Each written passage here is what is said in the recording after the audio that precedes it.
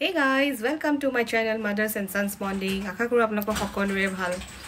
আজি মই নতুন ৰেচিপি এটা লৈ আহিছোঁ আৰু সেইটো হ'ল ৰাজমাহ কাটলেট তেন্তে আহক মই প্ৰণালীটো দেখাইছোঁ আপোনালোকক কেনেকৈ বনাব লাগে।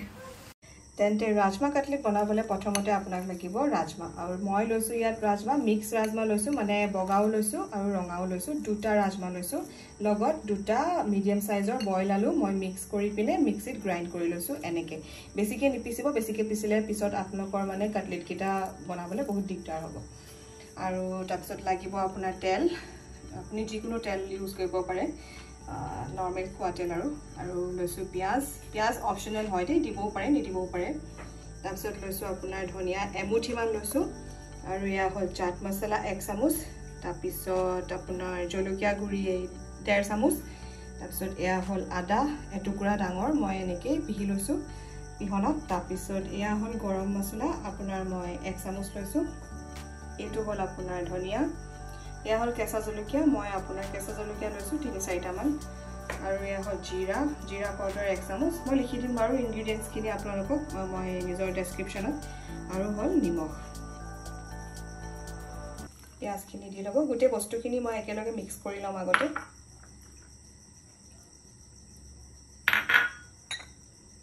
চব একেলগে ঢালি আপোনালোকে এনেকৈ মিক্স কৰি ভালকৈ হাতেৰে মিলাই ল'ব। বা চামুচ দিয়ে মিলাই যিহেদি মিলাই মিলাব পাৰে আৰু। নিমখ যিমান পাৰে আপোনালোকে আন্দাজ মতে দিব কেলৈ কি চাট মছলাটো নিমখ থাকেই তো সেইকাৰণে সেইটো আপোনালোকে চাই ল'ব। পিঁয়াজটো মানে মই দিছোঁ আৰু মোৰ টেষ্টৰ কাৰণে সেইটো অপশ্যনেল হয় দিবও পাৰে নিদিবও পাৰে।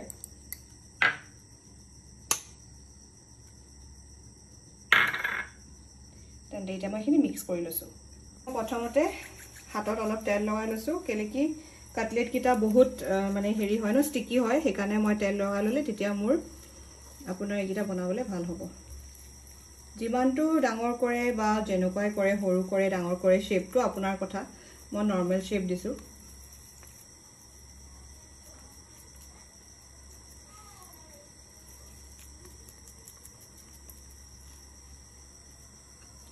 এনেকৈ কৰি ল'ব গোটেইকেইটা।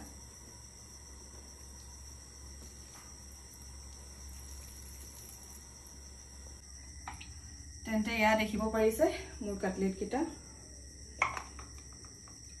এতিয়া তেল গৰম হৈ গ'ল মই ইয়াত দিছোঁ এটা দিম।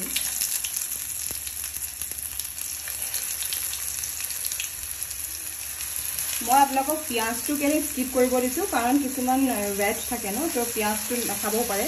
মই পিঁয়াজটো দিলে বেছি ভাল পাওঁ সেইকাৰণে পিঁয়াজ দিছোঁ পিঁয়াজটো নিদিলেও হয়।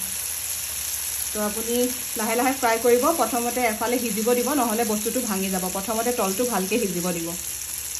ফ্ৰাই হৈ লওক তাৰপিছত ওলটাই দিম। এয়া দেখিব পাৰিছে? তলটো অলপ অলপ হৈছে। তো সাৱধানে লাহেকৈ কৰিব লাগিব।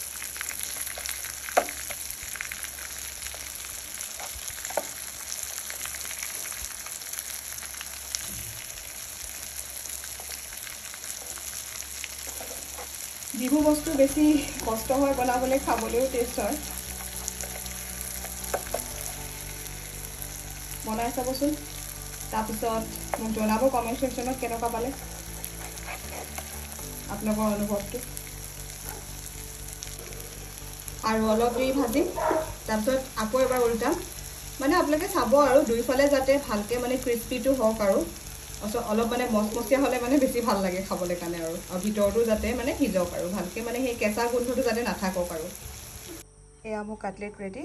মই ইয়াত পিঁয়াজ আৰু টমেট' চচ দি পিনে মই ছাৰ্ভ কৰিছোঁ। আপোনালোকে যদি ইচ্ছা কৰে ইয়াত গ্ৰীণ চাটনি বা যিকোনো চাটনি হ'লেও আপোনালোকে ল'ব পাৰে। খাই চাবচোন আৰু মোক কমেণ্ট ছেকশ্যনত জনাব নাপাহৰিব। আৰু মোৰ চেনেলটো লাইক শ্বেয়াৰ আৰু ছাবস্ক্ৰাইব কৰিব নাপাহৰিব। Thank you.